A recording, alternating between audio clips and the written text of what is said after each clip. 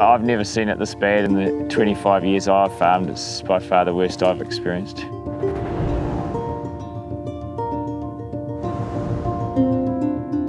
The problem started this time last year when it was very dry. We've only had half our annual rainfall. This is now the second period of dry winters we've had in the last six, seven years. It's unusual, and we would say we, we believe that that's part of climate change. These paddocks would normally have uh, new grass and well-established greenfield crops. They've been fallow now since last November, and there's absolutely no moisture in the subsoil. Droughts are part of a natural cycle, and if you've been farming around Canterbury long enough, you probably would have been through a few big ones. I guess looking back at the rain records, it shows that there has been dry patches throughout the years, followed by wet ones, but from talking to other farmers, this would be one of the worst ones. But the difference we're seeing now is that the air is hotter and the land is hotter, and with this hotter air and land, we just see evaporation happening more readily. The risk is that we get a cold winter and with minimal grass growth, we're going to be going to struggle to feed stock to their potential.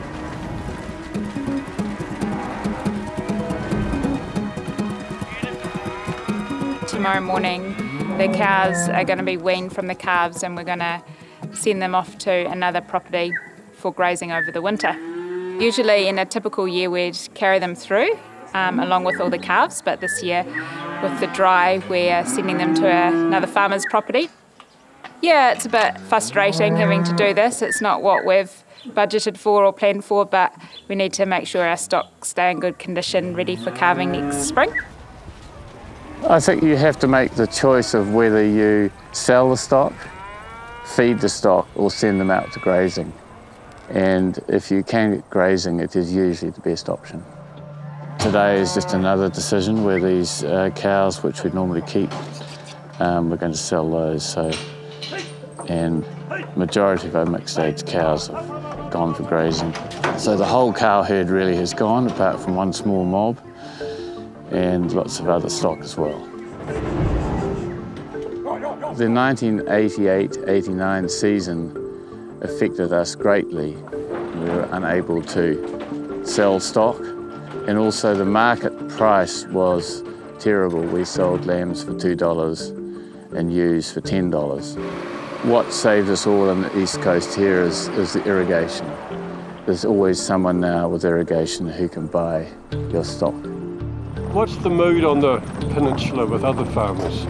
The mood is that for the most part they're well organised but they're apprehensive and although the prices are quite good this year um, the financial effect will, will arise next year.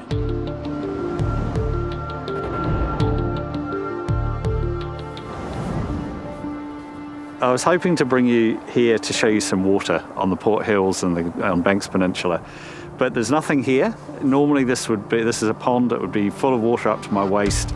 The wet areas that you see all across Banks Peninsula, they come from the rain falling and getting into the rock below. What we're standing on is basalt and it's fractured, it's got cracks all through it the water you know, seeps down into those cracks and moves down and then in places it'll come to the surface as a spring or a seep and then it'll get into the rivers of Banks Peninsula, the streams. Yeah, this is the Holmes Bay stream and um, it is very consistently good flow throughout um, the dry. That might be, you know, 10 years old or something like that, but it's not hundreds of thousands of years old and it's not connected to the, the Canterbury Plains aquifers. It all comes from rain that falls on Banks Peninsula. Climate change predictions are for longer, dry periods, and when it does rain, it's more intense rain, which of course runs off more quickly, so there's less held in the rocks. And therefore, I think there are significant changes we're likely to see in the streams of Banks Peninsula. We probably are going to experience drier patterns, so we've got to adjust the way we farm the land. So how we look after our pastures to make sure that they're, they're not eating out too hard.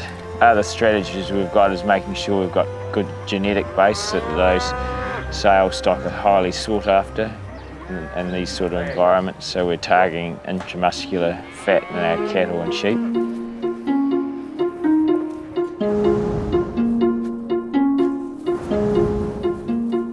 It's been a bit of a challenging season to start planting trees. The ones that were planted down in the gullies and uh, in the wetter spots have done well, but there's a few um, up on these ridges that have been uh, hammered by the dry. So unfortunately, the survival up here hasn't been as great as we'd hoped. But we're also looking at um, planting some more drought-tolerant species uh, next year. So it's a bit of a learning, uh, and we'll continue to plant.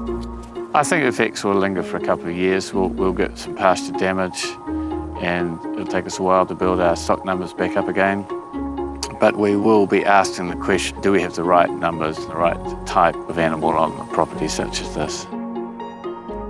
We will probably alter the, our grass mix and try and get a hardier, more robust, drought-resistant species. Right, so you're, you're planning ahead. Yes, I think we probably will have to change.